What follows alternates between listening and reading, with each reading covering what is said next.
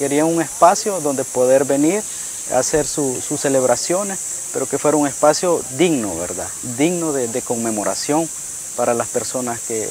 murieron en este lugar. Es un espacio para los sobrevivientes de la masacre, para sus familiares, para sus hijos, los nietos, los padres que perdieron los hijos acá, tengan un espacio donde recordarlos,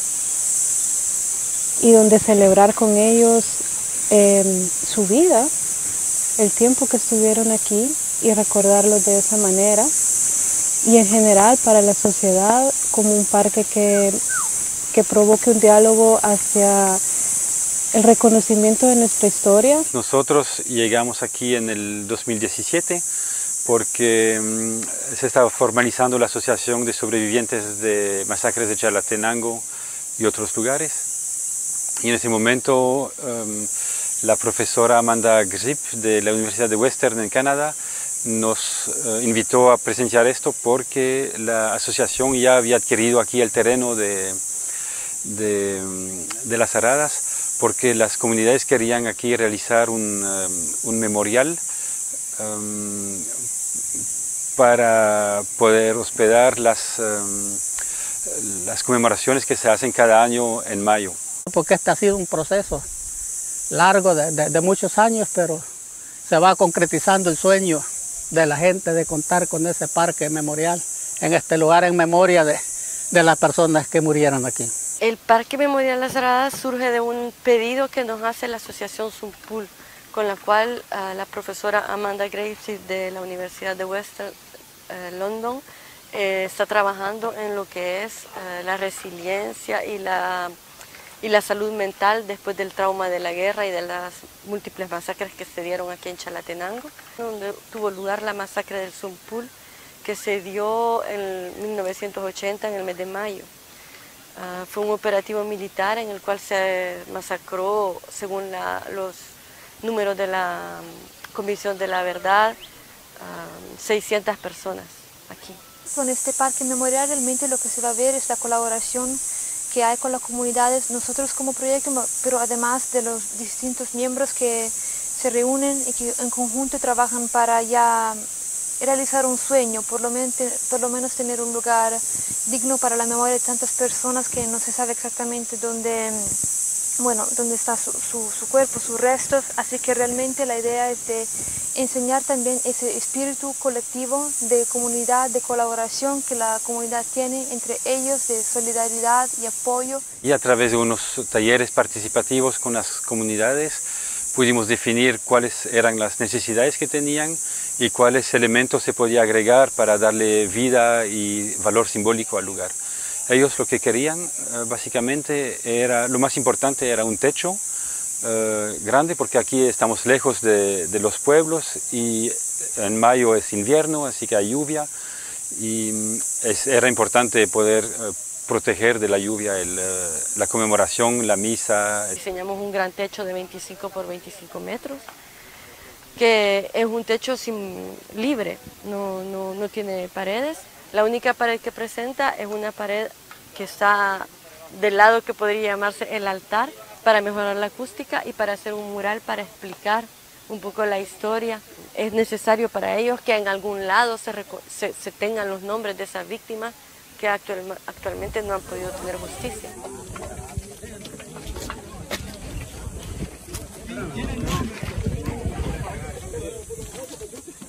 Son unas placas elaboradas con barro de hilo vasco y eh, a través de una técnica mixta, utilizando la técnica del asca y el moldeado en moldes, pero en esta ocasión de madera. Tener una cerámica finalizada eh, lleva todo ese proceso por el que pasa la materia para tener un cambio irreversible después de la quema. Entonces eso nos permite darle un significado a nivel de la, de la, memoria histórica y también que la tierra nos une a ese elemento de la esencia del ser. Querían por supuesto un memorial que llevaran los nombres de,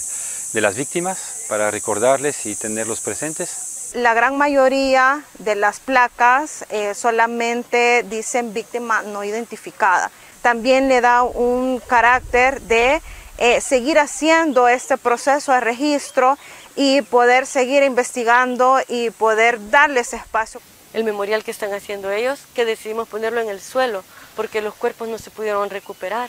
ya que la masacre tuvo lugar y durante dos semanas el ejército se quedó aquí para que la, gente no pudiera venir a recoger los cuerpos de los masacrados. Entonces se los llevaron los sopes, los perros, eh, los animales. Y eh, fue meses después que pudieron venir a recuperar algunos huesos que quedaban y echarlos en el pozo vecino. No podía faltar Monseñor Romero. Em, es una estatua uh, polícroma uh, en colores reales, tamaño real um, y sin zócalo. La idea es que esté presente como una persona del, del público, como uno de los conmemorantes um, en el lugar. El mausoleo eh, queda a un costado también, al, al costado de su, a su derecha para que también eh, desde ahí se pueda generar la, perspectiva del recordatorio hacia las personas, pero Monseñor Romero ve hacia dónde están, hacia, hacia la zona del río Sompul. Las plaquitas, las cerámicas,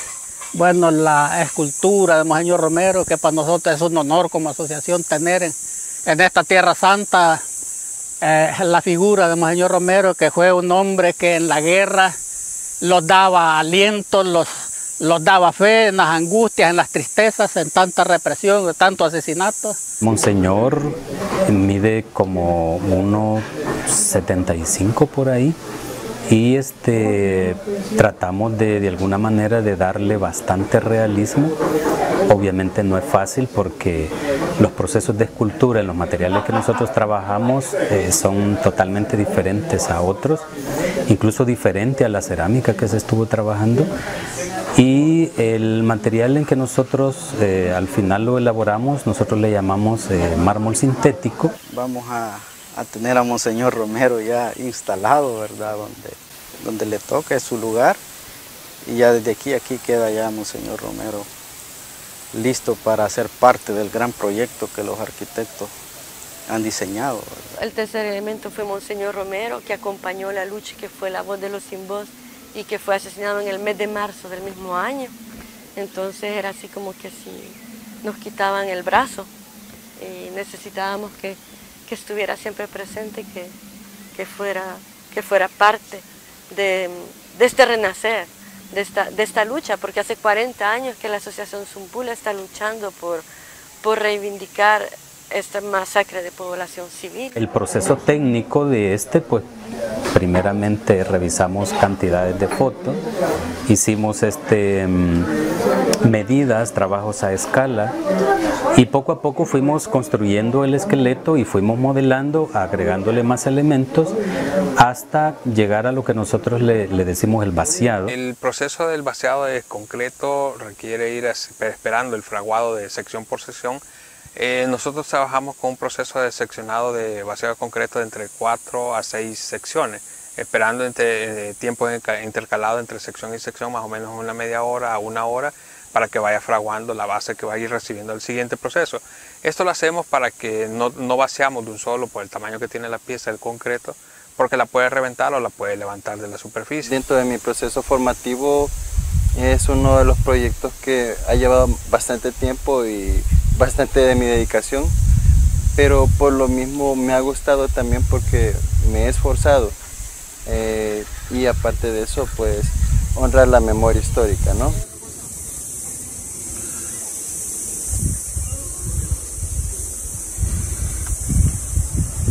Como hay bastante sol y calor, eh, es sembrar eh, un gran número de árboles de fuego que florecen en rojo en, ese, en esa temporada que van a dar un, valor simbólico muy fuerte, esperamos, y eh, que también van a dar la sombra para hospedar la vida cotidiana. Estos árboles de fuego enmarcan la plaza donde se, donde se llevan a cabo las conmemoraciones y donde se llevaron a cabo las, los fusilamientos de la población civil que el ejército escogió a las muchachas y las puso en fila aquí y las violó y luego las asesinó. Entonces queríamos que como ese lugar como es un poco sagrado, que quedara libre y que quedara como un testigo de tal cual encontramos el terreno. Y el último elemento quizás es eh, una, fogata que eh, se ha realizado, ya que la gente viene aquí a compartir el día antes, en la noche siempre hay una fogata un poco grande que se hace para cantar canciones, contar historias, eh, contar también eventos que están sucediendo y, compartir. Y es un gran anillo que se ha construido con piedra de río y concreto porque este ha sido un proceso largo de, muchos años, pero se va concretizando el sueño de la gente de contar con ese parque memorial en este lugar en memoria de las personas que murieron aquí.